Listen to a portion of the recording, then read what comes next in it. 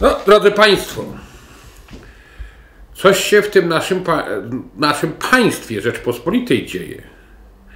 Od wielu dni byliśmy wszyscy informowani, że za bezpieczeństwo na Mistrzostwach Europy w piłce nożnej Euro 2012 będzie odpowiadała pani minister Joanna Mucha.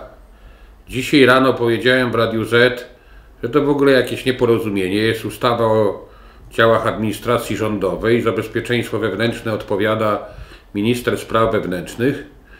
I zaraz po moim wystąpieniu e, Ministerstwo Spraw Wewnętrznych wydało komunikat, że to ono odpowiada. No to w końcu ja się pytam, kto odpowiada, no. Tydzień, dwa jesteśmy informowani, że Mucha, a teraz okazuje się, że Cichocki. No drodzy Państwo w rządzie, Panie Premierze, niech Pan to w końcu uporządkuje.